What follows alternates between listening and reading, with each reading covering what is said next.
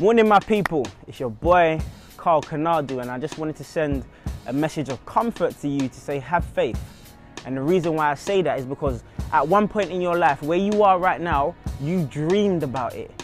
You wished for it. You prayed for it, my friends. I'm talking about having an office space. I'm talking about recruiting people, building a team. I'm talking about put, putting your, your job title on that LinkedIn profile. I'm talking about being in that relationship for X amount of time. You dreamed about the thing that you have right now.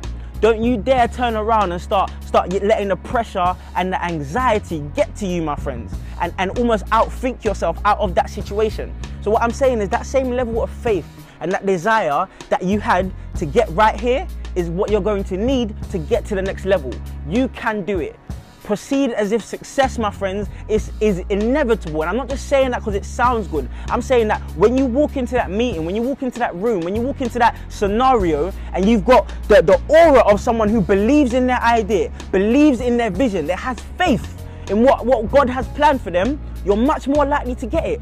It says in the scripture that God only has plans to prosper you, my friends. Don't be shy with the gifts that I've given you. So, my message to you today, my friends, is to have faith.